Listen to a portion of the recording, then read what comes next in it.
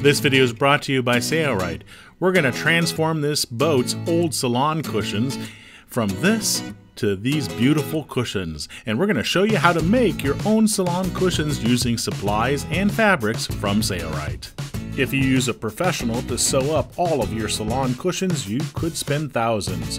Do it yourself and save. Angela from the Sailrite Loft is going to show you how it's done. We've decided to reuse the old foam, so here we're going to remove the cushion cover. And then when we removed the cover, we found that there was a polyester batting that had been wrapped on the polyurethane foam. We're going to remove the polyester batting because it's in pretty bad shape. You notice here it's been hand stitched with a single stitch approximately every six inches. Typically, polyester batting is glued to the foam.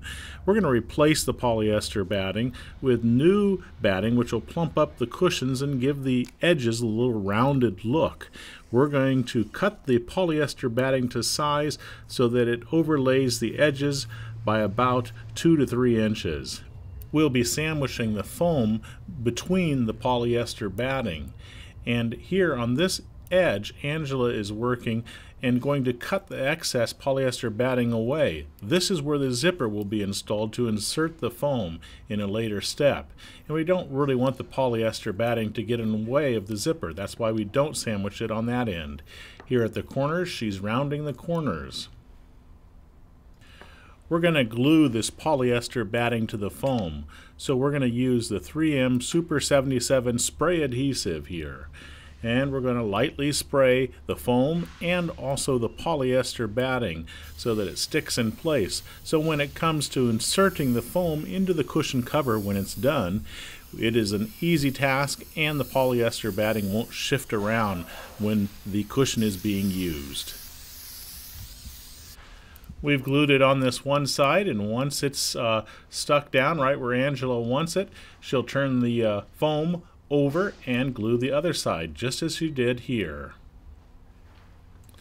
We'll not be showing gluing the polyester batting to the other side of the foam. We're also going to apply some spray glue to the sides and stick the polyester batting down there as well.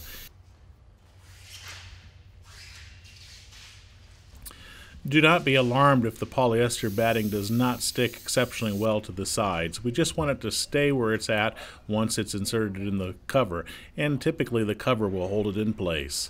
Let's move on.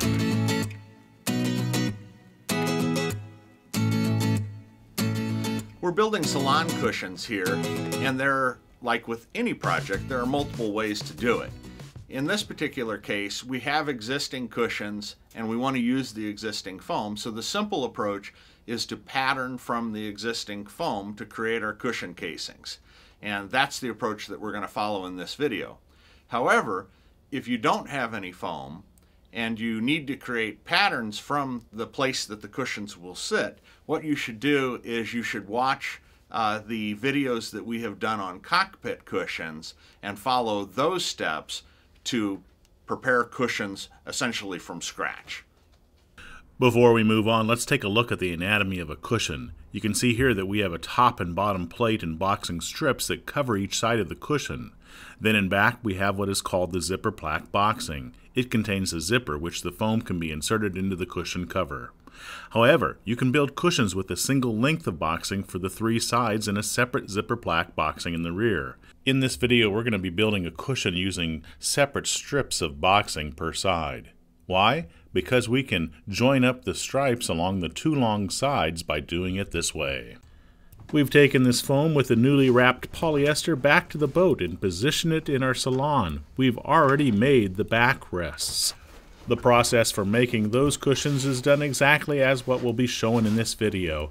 The reason we made those backrests first is because we have to line up the stripes. Our fabric that we've chosen is a Sunbrella upholstery fabric and it has stripes.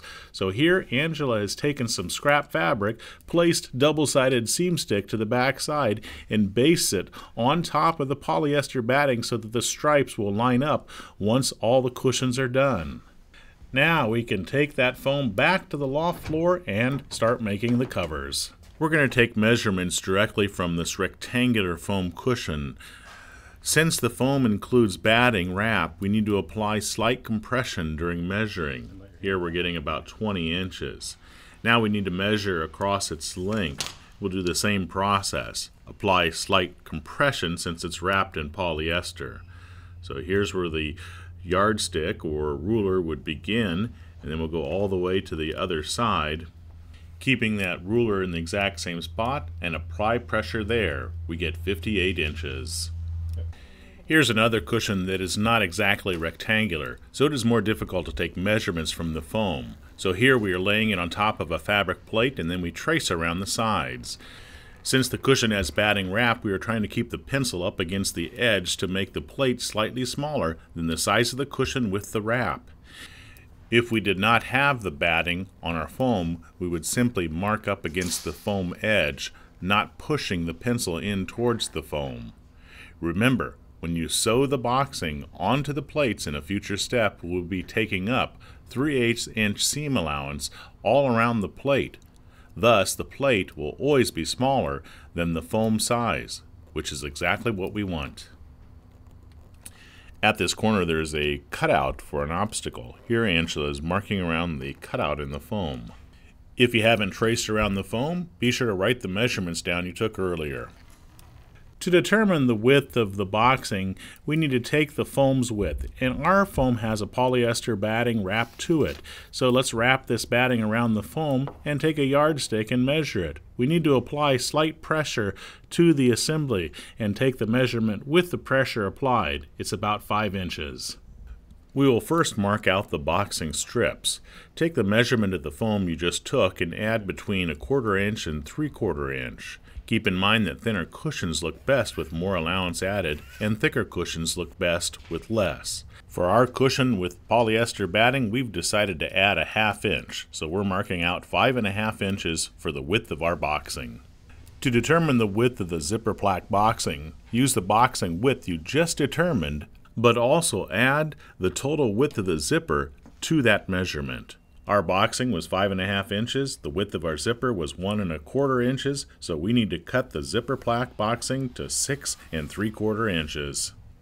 You can see that Angela is making several strips of boxing for this cushion. How many strips or what is the length of boxing required is determined easily. We're going to show you that next.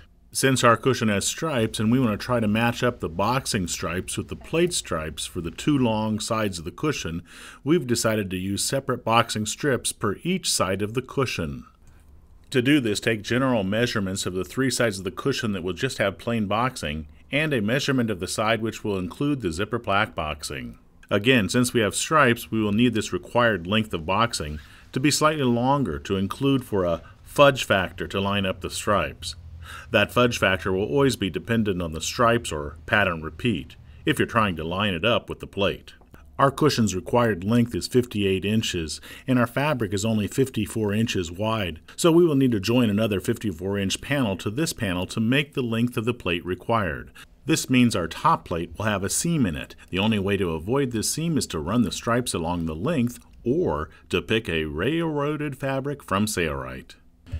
Now that we know the width and the length and the size of the plate, all we need to do is mark our fabric to the correct size and then cut them out. Angela uses a shortcut to create the extra boxing and top plate length required. Basically, her process saves time eliminating duplicating measuring. Next, she will cut both lengths A and B. Our cushion will use another fabric for the bottom plate, so we're going to leave that out for a future step. So here Angela has already marked the boxing on this one panel and also the plate itself as far as the width. She rolls out more fabric, takes a measurement of that, and then transfers that measurement to the second panel. So here she'll have two panels that she can cut out and sew together. So here's where she needs to cut the fabric apart to create the second panel. Sunbrella upholstery fabric should be cut with a hot knife. This will prevent the unraveling of the edge of the fabric. Here we're using the Sailrite Edge hot knife. This is a complete package. Wonderful tool. You should order it at Sailrite. Notice that as we cut the fabric, we're cutting on top of a metal ruler. This will prevent damage to the tabletop below. Now we'll cut the two panels apart at that center line. This will now give us two panels, one with the boxing width and the plate marked on it and the other without. Now all we need to do is sew those two panels together. When lining up the panels, you need to be sure your stripes or patterns line up perfectly. Then turn the assembly so the outside surfaces are facing each other. So they're lined up perfectly. And the stripes line up exactly how they need to, so they continue on from one panel to the next. Does this mean the stripes will line up with each other? No, not typically. When you're matching up stripes, they will often be offset of each other so that the pattern repeats exactly the same from one side to the next. Now we'll take these two panels to the sewing machine and sew them together at that point. Angela has decided not to use double-sided seam stick and she's not going to pin it in place. She's going to carefully guide the fabric so the stitch is in the right spot. She's going to set her sewing machine to approximately a 5 millimeter straight stitch, which is not too short and not too long. It will prevent puckering of the fabric and it will also hold the panels together well when they're completed. Now she's ready to sew. She's going to confirm that the fabric is resting right where it needs to be then she'll sew a few inches and confirm again.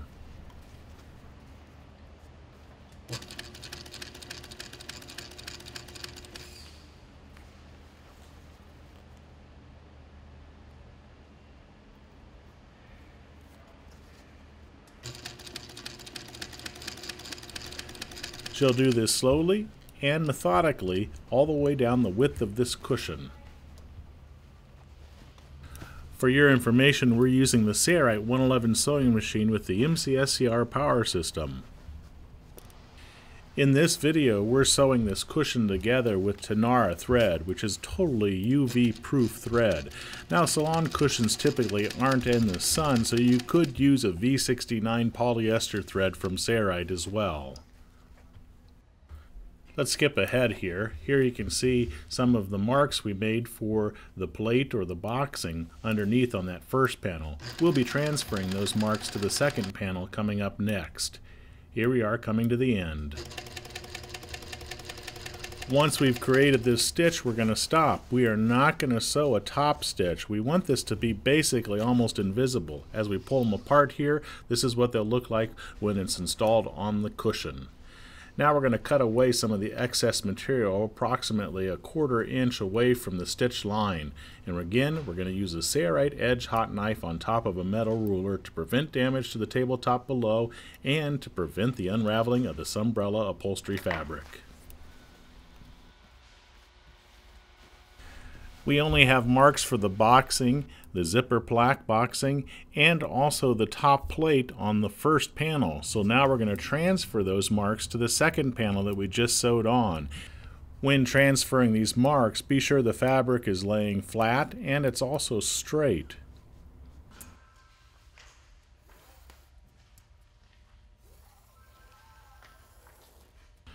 To confirm that everything is nice and straight, she's going to take a measurement from that first mark and then strike a line on the second panel. Go ahead and transfer all the marks for the boxing and the plates. We only have one plate as we're going to use a different fabric for the bottom plate. Remember back at the beginning of this video when we were on the boat and we used that scrap fabric to line up the back cushion with the bottom cushion. So now all we have to do to line up the stripes is take our fabric and lay it on top of the foam with that strip already adhered down. Ooh, here they're not lined up right. We need to turn the fabric the other direction. Position the fabric as close to the end as possible while still lining up all the stripes. That way you get the best cloth usage. Once it's in position, we can take a pencil and mark the ends. We're going to use that ruler here to confirm that our foam is the right size. For us, it was 58 inches. So here is the mark on this end of the cushion's length. And then now let's go to the other end. And at 58 inches, here's where the mark goes there. Now our stripes should be lined up with the backrest that's already on the boat. Since the boxing strips and plate were positioned directly under one another, This means lining up the stripes for the front and rear boxing strips is not required. They will be cut along the same plane, making that task already complete for our cushion. Nice. As Angela is determining where to cut, she's being sure that the fabric is laying nice and flat and the stripe is straight. Then she strikes a line with her pencil on the fabric. She did this here, and she'll also do it to the other end where she marked the fabric at the correct length.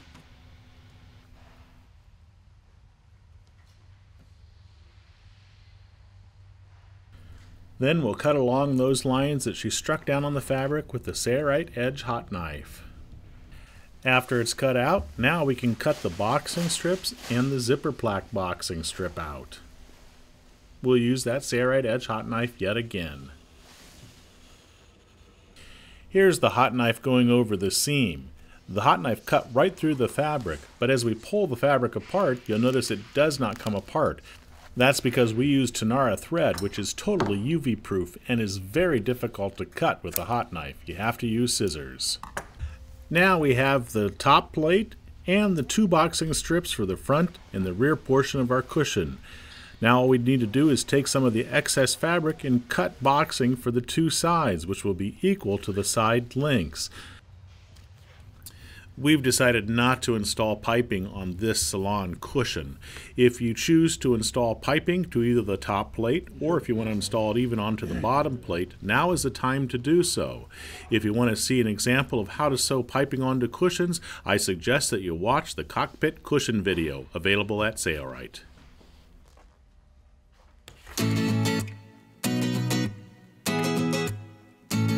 Most of our cushions are not flippable, so we're going to be using a cushion underlining fabric for the bottom side of our cushion. This is a great fabric because it breathes nicely, and it's a vinyl fabric, so it stays in place.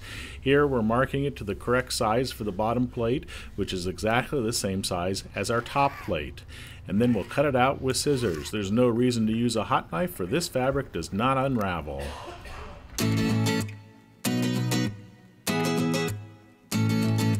To make our zipper plaque, we're going to cut a length of zipper that's approximately the entire length of our cushion minus a few inches on each end. There's no right or wrong length to cut the zipper, you just want it big enough to insert the foam.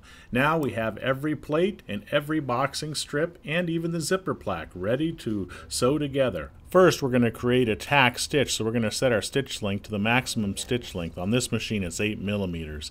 This stitch will eventually be ripped out. Then we'll fold our zipper plaque assembly in half lengthwise, being sure the outside surfaces are out, inside surfaces are facing each other. We'll then take our zipper, place it on top of the fold so the teeth are centered on the fold, and mark where the edge of the zipper tape is. Next, we'll take this over to the sewing machine and create a straight stitch right where that mark was placed. There's no need to do reversing, though Angela does a little bit here. We're using the Deluxe 5.5 inch magnetic guide here to position the stitch at the exact spot, all the way down the length. This magnetic guide acts like a fence on a table saw, guiding your project down the entire length. Our cushion had to have a seam to join two panels together. Here, Angela's going to be sure that the seam is laying flat as she sews across it here. When that's done, we'll take scissors and cut along the fold all the way down the length of the zipper plaque boxing. Do this carefully so as to cut along the fold, but uh, if you're off a little bit, it'll probably be okay in the end. Next, we'll splay open the portion that we just cut and lay the zipper on top of that and sew it in place on top of this boxing strip. We'll do a little bit of reversing at the beginning here because we're not going to start our zipper right on the edge of the zipper plaque boxing. We're going to start it a few inches in. The longer the zipper, the easier it is to insert the foam. However, typically we don't run the zipper all the way to the end of the zipper plaque boxing. When the zipper is placed in position, be sure to do a little bit of reversing at the beginning to lock the stitch in place. Then carefully splay open the portion that was uh, tack stitched down and center the teeth as you sew it onto the zipper plaque boxing. Be sure to center the teeth on top of the tack stitch. You'll notice the presser foot is up against the zipper's teeth. And as we get to the junction where the seam was sewn to sew the two panels together, we're going to carefully sew over that so it's laying nice and flat. When we get to the other side, we want to do some reversing there at the end of the zipper and then do reversing at the end of the zipper plaque as well. Now we'll turn the whole assembly around so we work from the other end. Doing this keeps our zipper on the same side of the presser foot and so we can just guide the teeth up alongside the uh, presser foot again keeping that stitch in exactly the same spot and since the zipper is tacked down we can go quickly there here it is complete now we'll rip open our stitches but we do not want to rip open the stitches right at the end of the zipper leave about an inch or so and then start ripping the tack stitch that we sewed down earlier with a seam ripper be careful not to rip your fabric now we'll pull the teeth apart and install the slider so that the puller is facing the outside of the fabric. Fat ends get started down first. You want to put the slider on so that the two ends of the zipper are started approximately at the same time. If you've never done this before, it will take some patience. Once it's in position, just pull the slider into place and it zips onto the teeth. We'll take some scrap fabric and cut two strips. These two strips will be positioned on the back side of our zipper with a fold towards the teeth, as shown here in the video. This will help to secure the ends of the zipper and our zipper plaque boxing in place so it will not easily come apart here past the zipper. We'll do some reversing here and do the same thing on the other side, placing our stitch directly on top of the previous stitch. Then when we get to the actual zipper with the teeth, we're going to sew across the teeth and into the teeth. So be careful that your needle does not deflect here and reverse several times. This will lock the slider onto the uh, zipper so it will not come off. Here's the top side and here's what the bottom side looks like. We've sewn right through the zipper teeth. Follow that same procedure on the opposite end and now our zipper plaque is complete.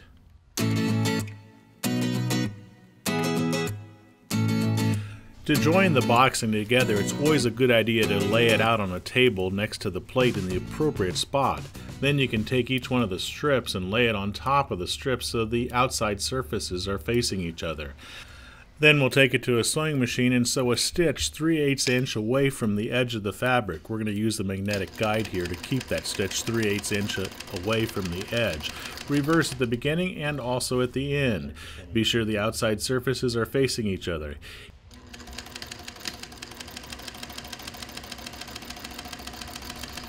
Now we'll take this back over to our plate again and be assured that we're joining up the correct edge and the correct side of the boxing. So here we're going to take our zipper plaque boxing and lay it on top so the outside surfaces are facing each other and do that same procedure to the end, joining it to the other boxing strips.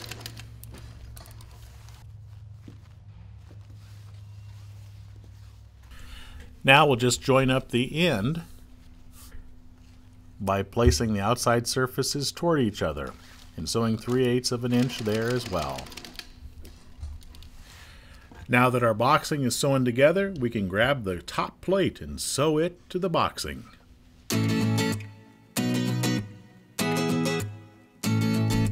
You'll want to lay the top plate with the outside surface facing up, but you also want to be sure that the stripes are lined up perfectly. Here they're not lined up well. You can see that here. So we're going to reverse the boxing around so that it lines up as it should. The zipper plaque goes in the back. Now let's see if the stripes line up the way they should. Yes, they do, and the seam is directly across from it that we put in to join the two panels together. We're going to start here at our corner, and we are going to line up the fabric by hand here. So the uh, stitch, the 3 8 inch stitch joining the boxing, is exactly 3 8 inch away from the corner if you use the edge of the fabric as a guide. So we're going to start a couple inches away from that corner, being sure that the stripes are lined up. We're starting on the front side of the cushion, and we want to sew 3 8 inch inside the edge of the fabric. Reverse at the beginning to lock your stitch in place. And we need to sew a 6 millimeter stitch length approximately as Angela is sewing, she's being careful that the stripes are lined up perfectly, so she's not pulling or stretching one fabric more than the other. We want the stripes to line up exactly across from each other as we sew this front portion of the cushion. Here's where we seam the two panels together, and she'll just make sure that that lays flat as she sews over it.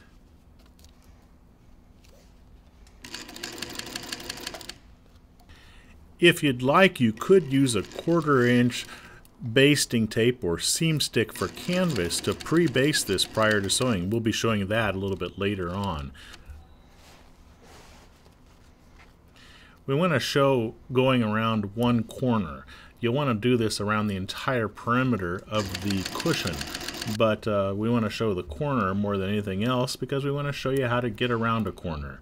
Here, if you've done everything right, that corner of the boxing where it's joined together with the opposite boxing strip should lay about 3 8 inch away from the edge of the fabric.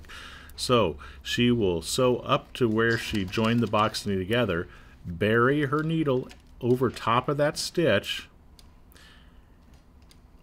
and then she'll lift her presser foot, roll the fabric around, lower her presser foot, and then continue to sew down the opposite leg. That's how a corner's done on a cushion. When sewing this side, we cannot use the stripes to be sure that they line up because they run the opposite direction. So Angela's going to go to the corner of the application and then make sure that she is walking that side into the sewing machine so that the corner will land right where she wants it to land. So here she's ensuring the corner is going to stop right where she wants it and she's not pulling or stretching one panel more than the other and sews to that corner. Follow this procedure all the way around the cushion. We'll not be showing any more of this. When you're done sewing, here's what it looks like on the outside. Everything's lined up and looks great. We want to show the use of using seam stick to pre-baste everything in place and then take it to the sewing machine and sew. So this is a different cushion, not the same cushion. And here you can see we're using a quarter inch seam stick for canvas and basting it around the entire perimeter of our plate. That way we can baste the boxing exactly where we want it to be. It is a good idea to only use a quarter inch basting tape for canvas, especially for Sunbrella upholstery fabric and Sunbrella uh, marine grade fabric. If you use anything wider, it is possible that you may sew into the seam stick, and if you sew into the seam stick, the glue will be exposed on the outside of the cover, which is not good because it'll catch dirt. So make sure you purchase the quarter inch seam stick for canvas from Sailrite. As you can see, all we do is base the boxing in the appropriate location. In doing this, we're assured that the stripes are going to line up, and we're also assured that the corners will line up perfectly. So if you're a little bit hesitant about how you're going to sew the boxing onto the plates, use the quarter inch basting tape or seam stick for canvas from Sailrite. Once it's all basted in place, now we can just take it to the sewing machine and we don't even have to hesitate sewing. We can just sew as fast as we like because we know everything is in exactly the right spot. And here's a look at the finished piece after using the seam stick on the outside surface. Looks great.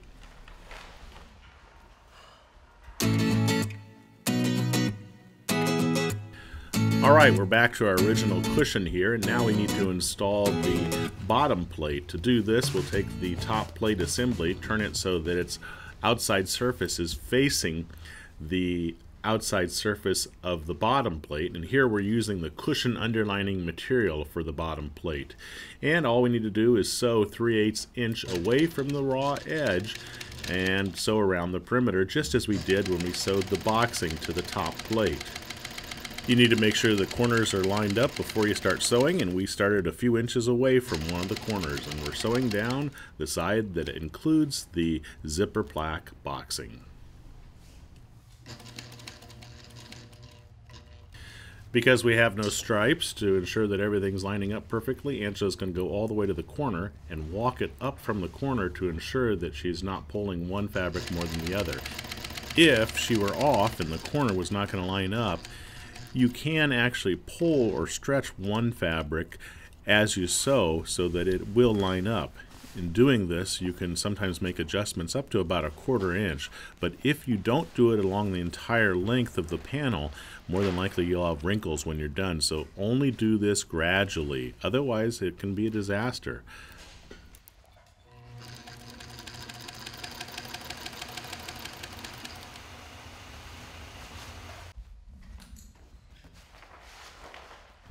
All right, we're going to skip ahead here to the end and it is all sewn together. Now she's going to separate the teeth by pulling the slider down and that opens up the cover and then she's going to turn it right side out.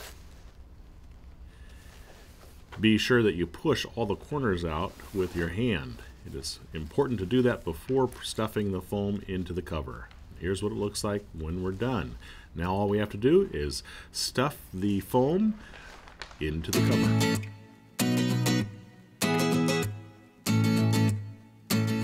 We'll remove that scrap fabric that we used to line up the stripes and now we're going to use a cushion wrap silk film. This is a centerfold piece that is 27 inches and then when we unfold it it's 54 inches. This is a noiseless plastic silk film that makes cushion stuffing easy. We're going to use two layers of this for our cushion to ensure that it covers it completely. We want to make sure that we cover the foam and have at least 6 inches to 12 inches overhang on all sides except for obviously at the folded edge. So here we're unfolding the material so that it lays 54 inches wide. Then we'll place our foam on top of the silk film and then wrap it around it like a taco.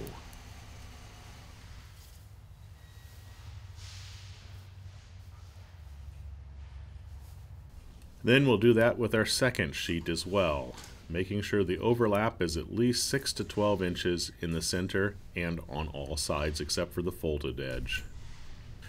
This plastic, known as silk film and also easy film, really does feel like a silk fabric and it is completely noiseless so you won't notice that it's inside your cushion when the cushion cover is installed a few benefits to using the silk film.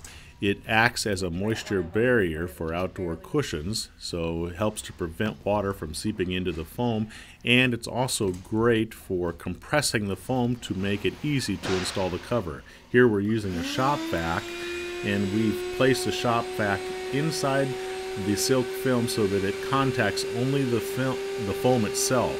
And then notice how the foam shrinks. It shrinks by sometimes up to 70% depending on the density of the foam. Once it's shrunk, all we have to do is insert the cover over it. it makes it very easy to stuff foam inside of cushion covers.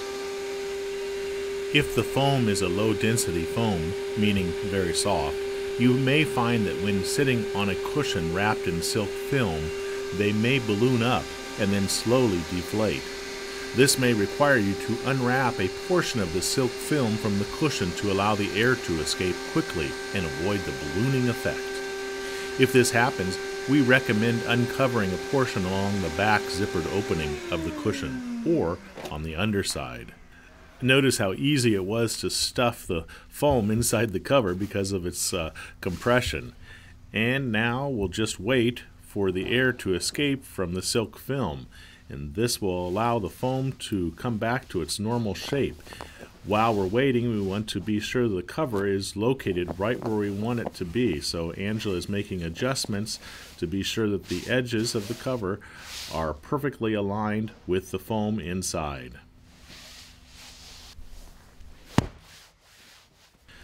Hopefully now you have all the skills necessary to build your own salon cushions.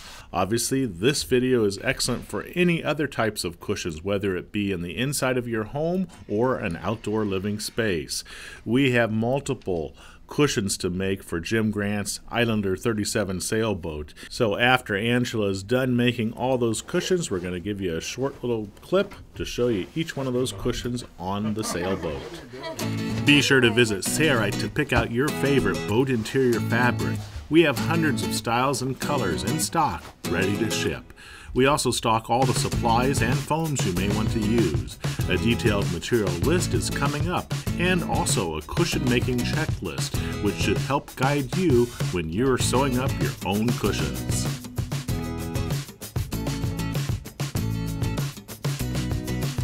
Here's the materials list of the items that we use to sew up these cushions and also the tools that were used. You'll find hundreds of fabrics that are available for salon cushions and other cushions as well at the Sailrite website. For salon cushions, Sailrite recommends using a Sunbrella upholstery or furniture fabric. When it comes time for you to build your own cushion, use this helpful checklist, which should walk you through each one of the steps that are required for building a salon cushion. For more free videos like this, be sure to check out the Sailrite website or subscribe to the Sailrite YouTube channel today. It's your loyal patronage to Sailrite that makes these free videos possible. Thanks for your loyal support.